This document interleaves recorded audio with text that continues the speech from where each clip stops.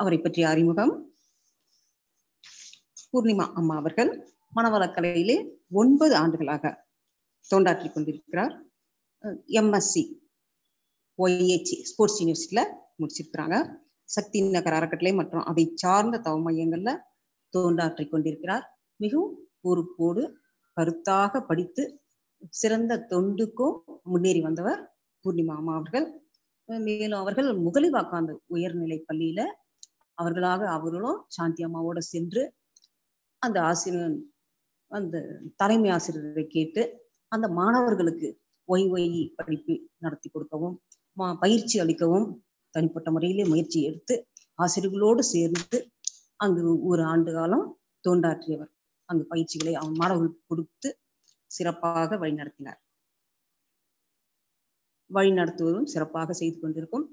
பூர்ணிமா அவர்களுக்கு பொறுப்புகள் நிறைய காத்து கொண்டிருக்கிறது. இன்றைக்கு நம்மிடையே சிறப்பு சிந்தனை அளிக்க வந்திருக்கும் பேராசி துணை பேராசிரியர் பூர்ணிமா அம்மா அவர்களை திருவள்ளூர் மண்டலம் அனைத்து அறக்கட்டளைகளின் ஜூம் இணைய ஊடக அன்பர்களின் சார்பாக அன்போடு அழைக்கிறோம். வாழ்க வளமுடன். வாழ்க வளமுடன் அம்மா. வாழ்க வளமுடன் அம்மா. நன்றி அம்மா. வாழ்க வையகம் வாழ்க வையகம் வாழ்க வளமுடன். குரு புகழ் வாழ்க குருவே துணை. சிந்தனையை உடல் நலத்தை சீரமைத்து உய்வித்த குருவே வாழ்க குருவே துணை. அனைவருக்கும் இனிய மாலை பொழுது வணக்கங்களும் வாழ்க வளமுடன் வாழ்த்துக்களும். வாழ்க வளமுடன். இன்றைக்கு சிந்தனைக்கு எடுத்துக்கொண்ட தலைப்பு வழித்துணை யார் நம்ம பொதுவாக பயணம் பண்ணும் பொழுது ரயில்லையோ இல்லை பேருந்துலேயோ தனியாவோ இல்லை யாரோடவோ பயணம் பண்ணும் பொழுது துணைக்கு வரவங்க நமக்கோட இணக்கமாக இருக்கும் பொழுது அந்த பயணம் மிக இனிமையாக இருக்கும். பக்கத்தில் இருக்கவங்களோ இல்லை கொஞ்சம் தள்ளி உட்காந்துருக்கவங்களோ நமக்கு ஏதாவது துன்பம் கொடுத்தா நமக்கு அந்த பயணமே துன்பமாக இருக்கும். இந்த வாழ்க்கை பயணம் இந்த வாழ்க்கை பயணத்தில் நமக்கு யாரெல்லாம் துணையாக இருக்காங்க? நம்ம குழந்தையா பிறக்கிறோம் இந்த பூமியில பிறக்கிறோம் யாரும் விருப்பப்பட்டு இந்த பூமியில பிறக்கிறது கிடையாது. பிறந்துட்டோம். ஆனா வாழ்ந்துதான் ஆகணும். எனக்கு இந்த அப்பா அம்மா தான் வேணும். எனக்கு இந்த சகோதர சகோதரிகள் தான் வேணும். நாம எதுவுமே முடிவு செய்யறதில்ல. இப்ப யார் முடிவு செய்தா? ஆனா இவர்கள் துணை இல்லாம நம்மளால வாழ முடியுமா? குழந்தையா பிறந்த உடனே உணவு வேணும் உடை வேணும் கல்வி வேணும். எல்லாமே வேணும். அது பெற்றோர்களிடமிருந்து கிடைக்கிறது. இந்த சமுதாயத்திலிருந்து கிடைக்கிறது. அறிவு அறிவை பெருக்கிக் கொள்ள ஆசான் மூலமாக அறிவை பெற்றுக்கொள்கிறோம் நட்பு அதன் பிறகு பார்த்தோன்னா வாழ்க்கை துணை. இதில் பல விஷயங்கள் நாம விரும்பி ஏற்படுத்தி கொள்வதில்லை. அதுவும் அமையுது. இப்போ வாழ்க்கை துணை பார்த்தாலும் நம்முடைய கருமையமே அந்த வாழ்க்கை துணையை தேர்ந்தெடுத்து கொள்ளும். மனம் வருத்தம் வேண்டான்னு சாமிஜி சொல்றாங்க. அப்போ நமக்கு இவர்கள் தான் நமக்கு துணையா? நம்முடைய வாழ்க்கை பயணத்துக்கு இவர்கள் தான் துணையா? அப்போ இந்த வாழ்க்கை துணையை நிர்ணயிப்பது யார்? நம்முடைய வாழ்க்கை பயணம் இனிமையாக அமைத்துக் கொள்வது எப்படி? அதற்கு துணையாக நிற்பது யார்? அதை பற்றி தான் நம்ம இப்போ சிந்திக்க போறோம். நாம் எதையுமே எனக்கு இப்படித்தான் வேணும் அப்படின்னு நம்ம ஒரு கணக்கு போடுறோம் கணக்கிடுறோம். நமக்கு மனம் வந்து ஒரு கணக்குதல். கணிக்குது. எனக்கு இதுதான் வேண்டும் சொல்லிட்டு அது எண்ணம் போடுது. ஆனால் இறைவன் ஒரு கணக்கு போடுறாங்க. அந்த கணக்கு பார்த்தீங்கன்னா சரியா இருக்கும்.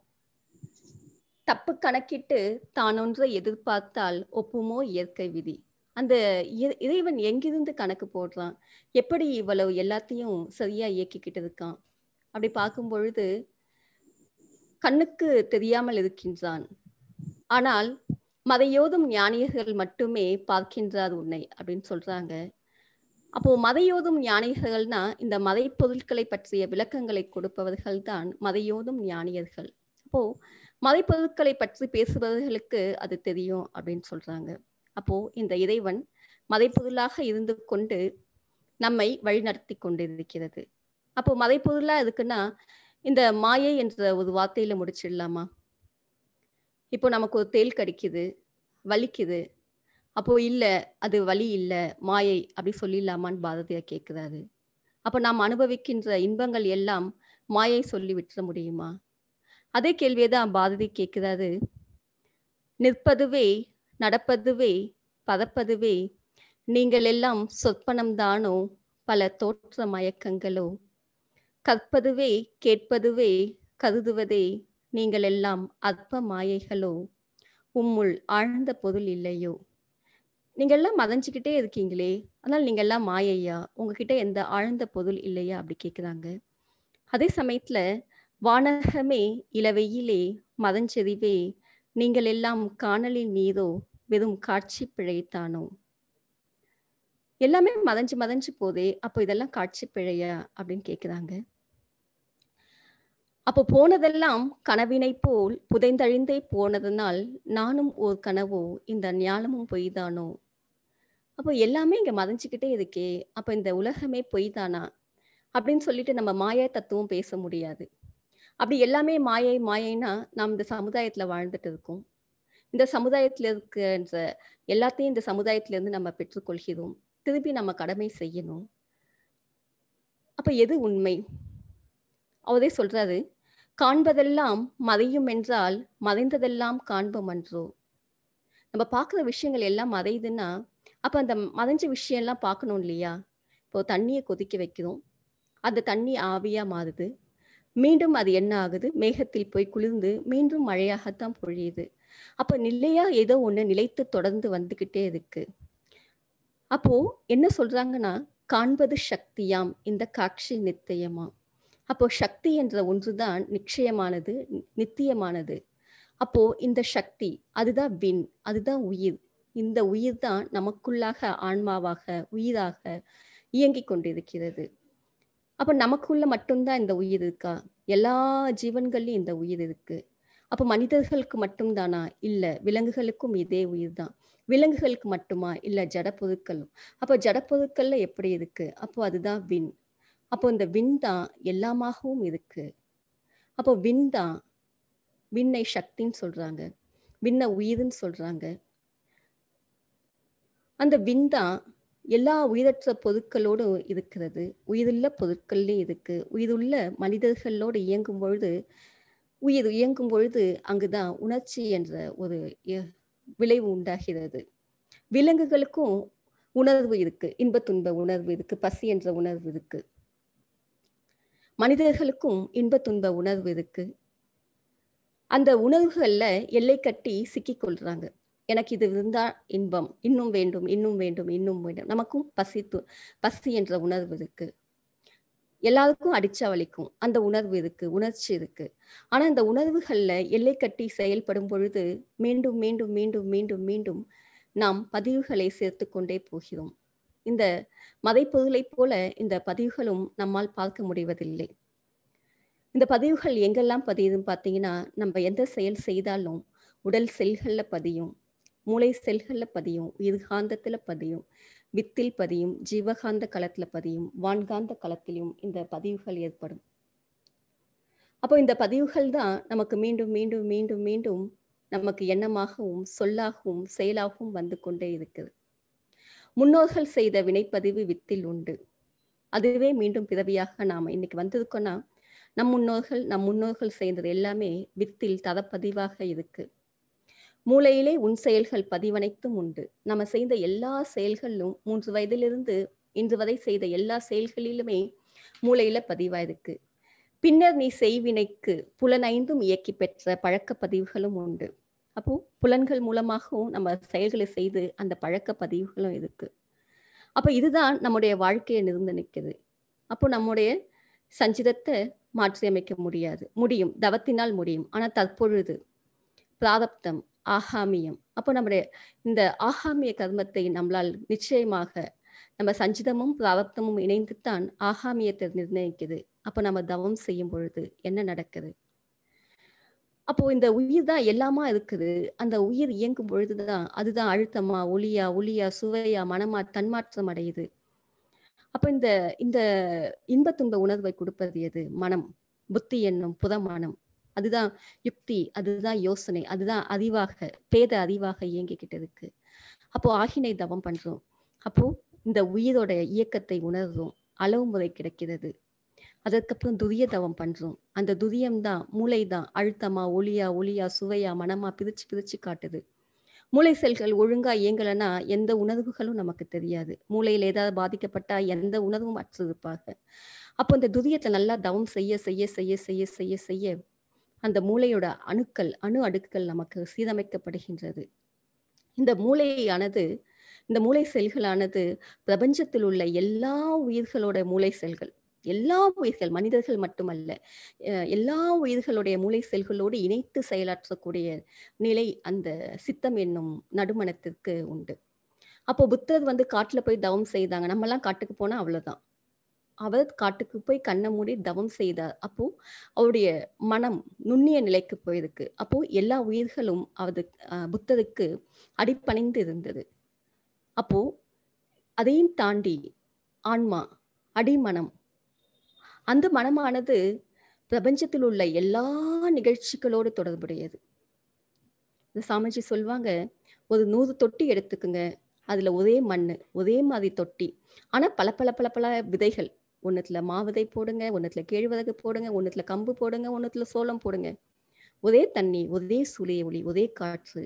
ஆனால் அந்த விதை தமக்கு தேவையான ஆற்றலை தன்னுக்கு தேவையான ஆற்றலை வாந்த வான்காந்தத்திலிருந்து மாமரம் அந்த மாமரம் வளர்வதற்கான அனைத்து ஆற்றல்களையும் எடுத்துக்கொண்டு வளரும்.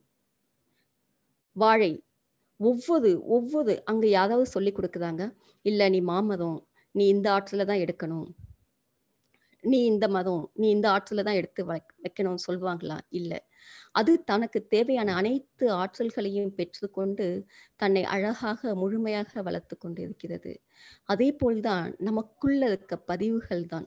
நமக்குள்ள இருக்க பதிவுகள் தான் நம்முடைய காந்தமானது நம்முடைய ஜீவகாந்தமானது வான்காந்தத்தோடு தொடர்பு கொள்ளுது.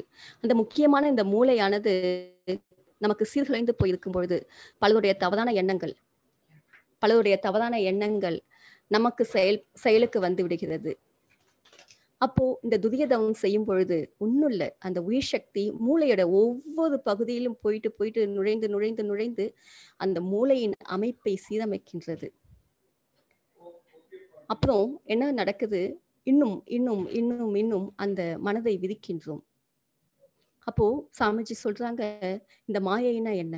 மனம் புலன் உணர்வினில் மயங்கிட மாயையாம்.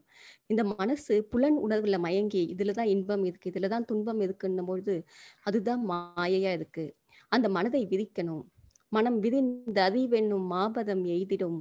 மனம் அறிவாகிய மனிதனும் தெய்வமாம். அப்போ ஒரு பக்கம் மனமா இருக்கு இன்னொரு பக்கம் அறிவா இருக்கு. அப்போ அந்த மனதை எல்லையற்ற எல்லையற்ற அந்த மனம் கணிக்க சுத்தல் செய் தொழில் செய்யக்கூடிய நம்ம மனதை கணிக்க முடியாத ஒரு இடத்துக்கு கொண்டு போதாது சுத்த வெளி.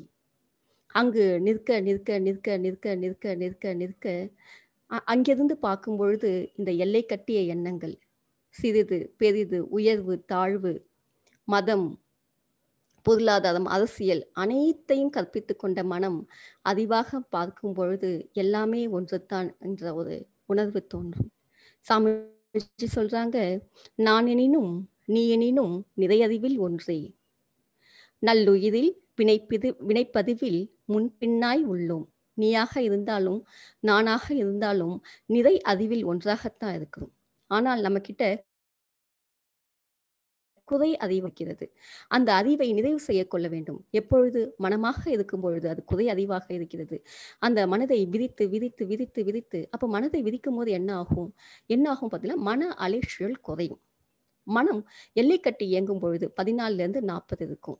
அப்போ மனதை விதிக்கும் பொழுது விதிக்கும் பொழுது ஒன்னுல இருந்து மூணு ஜீரோ அந்த அலைசுழல் விதி விதிக்கும் பொழுது அது மாறிடும். அறிவாக மாறிடும். உன் உருவில் இன்ப துன்ப உணர்வுகளில் எல்லை உண்டாக்கி வரையறுத்து வேறுபடுகின்றோம். ஏன்? எங்கே? எப்பொழுது? எவ்வளவு? எவ்வாறு? என்று வினாக்கள் ஊடே இழைத்து ஆழ்ந்து செல்ல நான் எந்த இடத்துல தப்பு பண்றேன்? நான் என்னுடைய என்னுடைய தப்பா? என்னுடைய கருமையம் எந்த அளவுக்கு கலங்கப்பட்டிருக்கு? என்னுடைய கருமையம் எந்த அளவுக்கு கலங்கப்பட்டிருக்குன்னு நான் தெரிஞ்சுனா என்னுடைய எண்ணங்கள் எனக்கு வர எண்ணங்கள் என்னுடைய கருமையம் நல்லதா இருந்துச்சுன்னா என்னுடைய கருமையம் தூய்மையா இருக்குன்னு அர்த்தம். எனக்கு தவறான எண்ணங்கள் தோன்றுதா? அந்த அளவுக்கு என்னோட கருமையம் கலங்கம் பட்டதுக்கு அப்போ என்னுடைய கருமையத்தை நான் எப்படி தூய்மை செய்து கொள்வது? அப்போ எனக்கு எத்தனை எண்ணங்கள் வருது? அந்த எண்ணங்கள் தான் எனக்கும் இடைநிலைக்கும் இடையே உள்ள தூரமா? அப்படின்ட்டு நம்ம அந்த தூரத்தை கணித்து கொண்டு இன்னும் நாம் என்ன செய்யலாம்? என்னுடைய வாழ்க்கை பயணம் என்ன? நான் எங்கு போய் கொண்டிருக்கிறேன்? நம்ம ஒரு பஸ்ல ஏறி போனாலும் பாண்டிச்சேரிக்கு போகிறோமா ரெண்டு மணி நேரம் ஆகுமா? நாலு மணி நேரம் ஆகுமா? அந்த தூரத்தை கணித்து சாப்பிட்டு போகலாமா இல்லை சாப்பாடு பேக் பண்ணி எடுத்துகிட்டு போகலாமா எவ்வளோ பிளான் பண்ணுறோம் நம்முடைய வாழ்க்கை பயணம் நாம் எங்கு போக வேண்டும்? எப்படி போக வேண்டும்? எவ்வளவு தூரம் கடக்க வேண்டும்? இன்னும் இன்னும் பதிவுகளை சேர்த்து கொண்டே போக வேண்டுமா? அப்போ என்னுடைய இந்த வாழ்க்கை பயணம் இன்பமாக இருக்க வேண்டுமா? இல்லை துன்பமாக இருக்க வேண்டுமா? என்னுடைய வாழ்க்கை பயணத்துக்கு துணையாக இருக்க போவது யார் அப்படின்னு பார்த்தீங்கன்னா நான் எனினும் நீ எனினும் எல்லா நல்ல அறிவு நிறை அறிவில் ஒன்று தான் ஆனால் வினைப்பதிவில் தான் ஒருத்தவங்க முன்னாடி இருக்கும் ஒருத்தவங்க பின்னாடி இருக்கும்.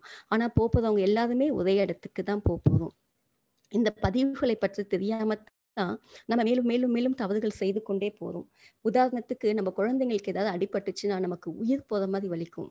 ஏன்னா நம்முடைய மதுப்பிதவிகள் நம்முடைய குழந்தைகள். அப்போ நாம் செய்கின்ற அனைத்து செயல்களும் அதனுடைய விளைவுகளும் ஒன்று நாம் அனுபவிப்போம். இல்லை நம்முடைய குழந்தைகள் அவருடைய குழந்தைகள் அப்படின்னு வித்தின் மூலமாக அது தொடர்ந்து போய்க்கொண்டே இருக்கும். நம்முடைய வித்து எவ்வளவு அற்புதமானது. அது அது அனைத்து சக்திகளையும் உள்ளடக்கி இருக்கு ஒரு பெரிய ஆலமரத்தோட தன்மைகள் அனைத்தும் வித்துக்குள் அப்படியே சுருங்கி இருக்கிறது போல நம்முடைய அடிமனத்தில் எல்லா ஆற்றல்களும் அதாவது நம்முடைய இந்த இந்த பிரபஞ்சம் தோன்றியதிலிருந்து இந்த சூரியன் எப்படி தோன்றுச்சு இந்த நட்சத்திர கூட்டங்கள் எப்படி தோன்றுச்சு இந்த ஓர்வுயிர் எப்படி தோன்றியது இந்த இத்தனை விலங்குகள் எத்தனை எப்படி உருவாச்சு மனிதன் எப்படி தோன்றினான் அவனுடைய அனுபவ அனுபவங்கள் எல்லாம் அப்படியே இறுக்கி சுருப்பி இரு இருப்பா வச்சிருக்கு. நம்ம ஒரு முயற்சி செய்து பயிற்சி செய்து மன அலை சூழலை குறைக்கும் பொழுது அந்த அகங்காரம் என்னும் அடிமனமானது சித்தத்திற்குள் புகுந்து நமக்கு புத்திக்குள் உள்ளுணர்வாக இந்த உள்ளுணர்வு எல்லாருக்கும் ஏற்படும். அந்த உள்ளுணர்வை வந்து நம்ம அலட்சியம் செஞ்சிடுறோம் இதெல்லாம் ஞானிகளுக்கு தான் நடக்கும். இதெல்லாம் நமக்கு எங்க நடக்க போகுது? அப்படின்ற ஒரு ஒரு அது நம்பிக்கை இல்லாத ஒரு தன்மை. ஆனா சாமிஜி சொல்றாங்க நமக்கு தொட்டு காட்டி நமக்கு உயிர் உணர்வை ஃபர்ஸ்ட் கொடுக்குறாங்க. உயிரை உணர்ந்து மேலும் அங்கு பதத்தை உணர வைக்கிறாங்க. அதுதான் சாமி சாமிஜி சொல்றாங்க வான் அறிவோம். வான் என்றால் வானை பற்றிய அறிவில் அப்போ வான் அறிவோம். வானை பற்றி அறிந்து கொள்வோம். அந்த வான் தான் வானுக்கு இன்னொரு பெயர் உயிர். அப்போ வானை அறிவோம் உயிர் விளக்கம் கிடைக்கும். அப்போ வானை பற்றி அறிந்து கொள்ளும் பொழுது அந்த வானத்தில் இருக்கின்ற அந்த பெரியக்க மண்டலம் அ- அதுவாக இருந்தாலும் அதெல்லாம் பாருங்க பல கோடி ஆண்டுகள் அது மானம் சுத்திக்கிட்டே இருக்கு. ஆனா மனிதனுக்கு தான் மிக கம்மியான நூறு ஆண்டுகள். இந்த ஒரு குறுகிய வாழ்நாள் உடைய இந்த மனிதன் வானை பற்றியும் உயிரை பற்றியும் விளக்கம் தெரியாமல் அவனுடைய வாழ்க்கையில் துன்பத்தையே ச ஏற்படுத்தி கொண்டே இருக்கின்றான். அப்போ வான் அறிவோம் உயிர் விளக்கம் கிடைக்கும். வதை கடந்து நிற்கும் வழி தெரியும். அப்போ நமக்கு ஒரு வழி தெரியல. எப்படி வரைமுறை கடந்து நிற்பது என்று? அப்போ உயிரை உணர்ந்து அந்த வான் அறிவு பெறும் பொழுது வதை கடந்து நிற்போம். இதையே திருவாசகத்துல சொல்றாங்க நிற்பார் நிற்க நில்லா உலகில் நில்லோம் இனி நாம் செல்வோமே. அதான் இந்த உலகத்துல எல்லாமே நிலையானதுன்னு சொல்லிட்டு எல்லாரும் எது எதுவும் ஆசைப்பட்டுட்டு இருக்காங்க. அவங்களும் அப்படியே இருக்கட்டும். அதை பத்தி நீங்க எதுவும் சொல் நம்ம கூப்பிடலாம். ஆனாலும் வரலன்னா என்ன பண்ண முடியும்? நிற்பார் நிற்க நில்லா உலகில் நில்லோம் இனி நாம் செல்வோமே. ஏற்கனவே ரொம்ப நேரம் கலந்து விட்டது. நிற்பார் நிற்க நில்லா உலகில் நில்லோம் இனி நாம் செல்வோமே. அப்போ புயங்கன் ஆழ்வான் புகழ்களையே. நாம வந்து அங்க போயிடணும். அடைவோம் நாம் பெருஞ்சாத்தோடு அடியார் கதவடையாமே. நம்ம ஒரு பெரும் கூட்டம் கூட்டமா போகணும். சொல்லுவாங்களா கோயிலுக்கு போகும்போது ஏன் எல்லாத்தையும் கூட்டிட்டு போகணும்? அதுக்கு புண்ணியம் அப்படின்னா என்ன? அப்போ வாங்க நாங்களாம் இதே நிலையை பார்க்க போதும் அப்போ ஒருத்தவங்க கிளாஸ்க்கு வருவாங்க இன்னொருத்தவங்க வரமாட்டாங்க. அப்போ நம்ம போயிட்டு என்னப்பா உங்களுக்கு என்ன பிரச்சனை? ஏதாவது வேலை இருந்தால் பார்த்துக்கலாம். வாயேன் தவத்துக்கு வாயேன் வகுப்புக்கு வாயேன் நீ வந்து பார்க்க பார்க்க உன் மனசு கொஞ்சம் நல்லா இருக்கும். அதுக்கப்புறம் வந்து வீட்டு வேலையெல்லாம் செய்யும். அப்போ எல்லாரும் சேர்ந்து போகும்பொழுது அப்படி கண் அனாந்து பார்க்கும்பொழுது நமக்கு நட்சத்திர கூட்டங்கள் தெரியுது. அப்போ கண்ணை மூடி பார்க்கும் பொழுது அந்த பெரியக்க மண்டலம் எல்லாத்தையும் தாண்டி நம்ம எல்லாத்தையும் தாண்டி தாண்டி தாண்டி அந்த பெரியக்க மண்டலத்தையும் கடந்து அந்த சுத்த வெளியோட மன மனதை இயக் அப்படியே லயமாகும் பொழுது அந்த உயிர் உயிர் மையத்தில் இருக்கக்கூடிய சதா சிவமானது உயிரை சுற்றியுள்ள சிவத்தோடு ஊடுருவி சதா சிவத்தோடு இணைக்கும் பொழுது அதுவே அறிவு அப்படியே மனம் அப்படியே அசையாமல் அறிவாக மாறும். அப்படி மாறும் பொழுதுதான் நாம் மீண்டும் எந்த தவறுகளையும் செய்ய மாட்டோம். யாருக்கும் துன்பம் கொடுக்க மாட்டோம். அப்போ இந்த நிலையை நாம் அடையணும்னா ஒரு முயற்சி ஒரு பயிற்சி. இது அனைத்துமே நமக்கு மனவளக்கலையில சாமிஜி மிக எளிமையா வடிவமைச்சு கொடுத்திருக்காங்க. நம்ம முயற்சி காலையில் எழுந்து ஜீவகாந்த பெருக்க பயிற்சிகளையும் உடற்பயிற்சி தவம். நமக்கு இப்போ ஜூம் என்ற ஒரு பெரிய பொக்கிஷம் கிடைச்சிருக்கு. இப்போ வகுப்புகளும் ஆரம்பிச்சாச்சு. ஒரு சிறு முயற்சி. நான் தவம் செய்யணும். அது ஒரு பெரிய ஜாடி எடுத்துக்கோங்க. அந்த பெரிய ஜாடியில உங்ககிட்ட ஒரு பத்து பெரிய பெரிய கல் ஒரு ஐம்பது சின்ன சின்ன கல் கொடுக்குறாங்க. நம்ம என்ன பண்ணுறோம் ஒரு பெரிய ஜாடி எடுத்துட்டு ஒரு ஐம்பது சின்ன கல்லை போட்டுட்டு பெரிய கல்லை போடணும்னா ஒரு பெரிய கல் தான் போட முடியும். அதுவே ஒன்று ரெண்டு தான் போட முடியும். அதுவே நம்ம ஃபஸ்ட்டு என்ன பண்ணிடணும்? ஜாடியில் ஃபஸ்ட்டு பெரிய பெரிய கல்லெல்லாம் போட்டுடணும். நம்மளுடைய தவம் நம்முடைய உடற்பயிற்சி நம்மளுடைய ஜீவகாந்த பெருக்க பயிற்சிகள் அப்படின்ற முக்கியமான பெரிய பெரிய க- கல் அந்த ஜாடியில் போட்டு அதுக்கப்புறம் எவ்வளோ சின்ன கல்லை தூக்கி போட்டாலும் அப்படி குளிக்கி விட்ட அந்த ஜாடி ஃபுல்லாக நிரம்பிடும். அதே மாதிரி நல்ல நல்ல விஷயங்களை சாமிஜி இந்த முழுமை இந்த முழுமை அடையக்கூடிய அந்த பயிற்சி முறைகள் நம்ம கொடுத்துருக்காங்க. அப்போ இந்த பயிற்சிகள்லாம் செய்து அதுக்கப்புறம் சின்ன சின்ன விஷயங்கள் எல்லாம் போட்டு பண்ணிக்கலாம். ஏன்னா நான் என் வாழ்க்கை துணையை பார்த்துக்கணும் என் பெற்றோர்களை பார்த்துக்கணும் என் குழந்தைகளை பார்த்துக்கணும் என் நண்பர்களை பார்த்துக்கணும் என் உறவினர்களை பார்த்து கொள்ள வேண்டும். இவர்கள் எல்லாம் எனக்கு வாழ்க்கைக்கு உதவுகிறார்கள் அப்படின்னா இவர்களை நான் சிறந்த முறையில் இவர்களை எனக்கு அமைய காரணமாகவும் இவர்களை நான் மாற்றி அமைக்கவும் என்னால் முடியும் என்றால் அந்த மறைப்பொருளான இறைநிலை தான் அதை பிடித்து கொள்ளும் பொழுது அவர்கள் தன்னாலாக மாறுவார்கள். அப்போ நம்மை வழி நடத்துவ அந்த பதிவுகள் தான். அப்போ அந்த பதிவுகளை நமக்கு துணையாக இருக்கின்றது. அந்த பதிவுகளின் அந்த இடைநிலையின் துணையை கொண்டு இந்த பதிவுகளை மாற்றி கொண்டு நாமும் நம்மை சார்ந்தவர்களையும் சிறப்பாகவும் வளமுடனும் வாழ நமக்கு மனவளக்கலை உதவி செய்யும் என கூறிக்கொண்டு வாய்ப்பளித்த அன்பு உள்ளங்கள் அனைவருக்கும் நன்றிகளை கூறி வாய்ப்புக்கு நன்றி கூறி விடைபெறுகிறேன். நன்றி. வாழ்க வளமுடன் அம்மா. வாழ்க வளமுடன்.